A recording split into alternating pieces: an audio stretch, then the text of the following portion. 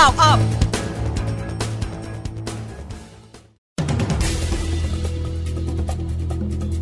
15นาฬิกา13 นาทีปิยบุตรเล็งใช้กลไกสภาถามรัฐบาลอีกถวายสัตย์ปฏิญาณตนของนายกรัฐมนตรีที่ไม่สมบูรณ์ ย้ำเพื่อหาวิธีแก้ไขให้ถูกต้องตามรัฐธรรมนูญ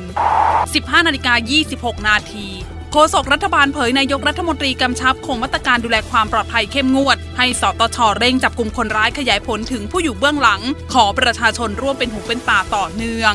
15นาฬิกา37 นาทีรัฐมนตรีว่าการกระทรวงพาณิชย์ดันนโยบาย 4 ด้านดูแลการค้า เผยวันที่ 7 สิงหาคมนี้หารือทุกฝ่ายประกันราคาปาล์มน้ำมัน 15นาฬิกา41 นาที แม่แพรวาหาเงินได้แล้วเตรียมนำชดใช้ญาติเหยื่อวางสารแพ่งพรุ่งนี้ช่วงเช้า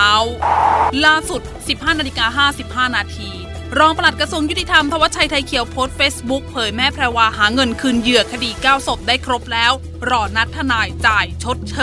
ย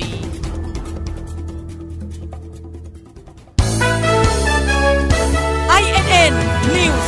Round Up